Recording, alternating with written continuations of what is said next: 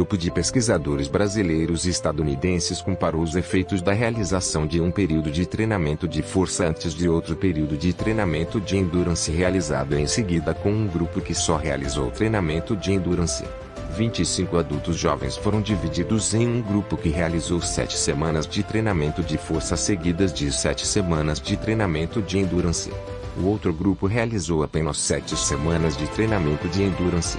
Foram avaliadas a composição corporal, o desempenho de endurance e biópsias musculares. O treinamento de força melhorou a composição corporal e a força. Aumentou a espessura do músculo o número de núcleos musculares, marcadores de conteúdo dos ribossomos e o número de células satélites. Os níveis dos complexos mitocondriais da respiração celular no grupo que realizou apenas treinamento de endurance aumentou de 32% a 66%, enquanto do grupo que realizou os dois treinamentos aumentou de 1% a 11%.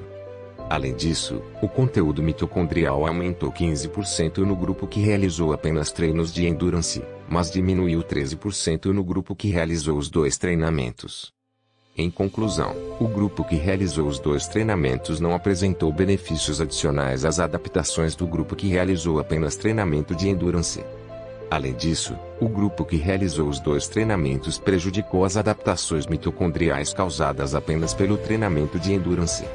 Os pesquisadores não analisaram outros resultados relacionados ao uso do treinamento de força em relação aos atletas de endurance, sendo que os autores não afirmam que atletas de endurance não devam realizar treinamentos de força.